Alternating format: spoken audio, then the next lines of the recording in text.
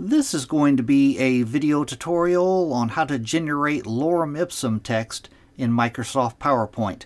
I will be using Office 365 on a desktop PC for this. Let me uh, jump over to PowerPoint here. Okay, I have PowerPoint opened up now. To generate lorem ipsum text in PowerPoint, first thing you want to do is go to the slide that you want to place the uh, lorem ipsum text on. Then you want to go up to the top up here and you want to click on the Insert tab. Insert. Then on the ribbon, you want to go off to the far right and you want to click on Text Box. Then I'm going to go down to my slide here. I'm going to hold down my left mouse button, draw out a text box. You can make yours whatever size you want. You could always adjust it later. My mouse cursor is inside of that text box here.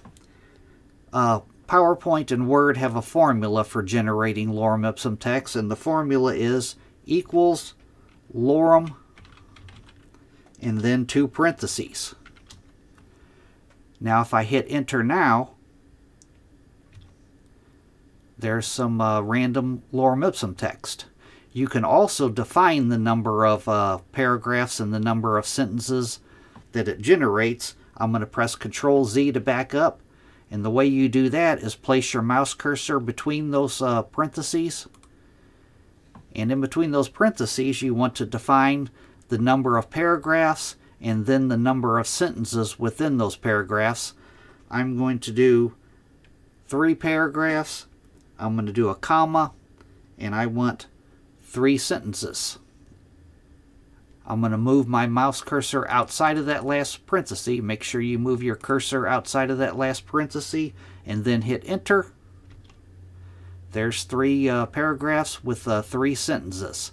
This middle one is a really short one. I got one sentence there, one sentence here, and one sentence here. It's three sentences. But that is how to generate lorem ipsum text in PowerPoint. Thanks for watching.